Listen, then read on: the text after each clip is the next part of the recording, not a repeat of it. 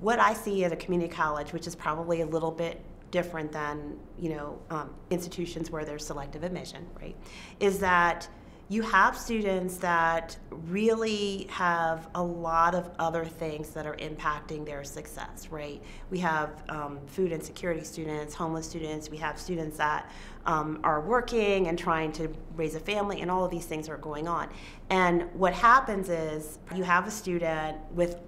great intentions that enrolls in a class and wants to do the great work, but you know, five weeks in, grandma passes away, or they something happens with their car, or they lose their child care. And so when you pile on top of that, oh by the way, you're not prepared for credit level math, you've got to take three courses before you can get to.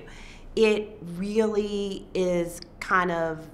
writing the story that's not going to end up well for that student. And so to have um, the idea that you are cutting that time in half, um, that a student who walks onto our college campus who techni- technically has been labeled as not ready for credit level courses can actually enroll in a credit level math course that semester, maybe with a co-requisite, but they're in and they see the end of the tunnel. And so for me, that is where I see it making a huge difference because we're keeping the students that most likely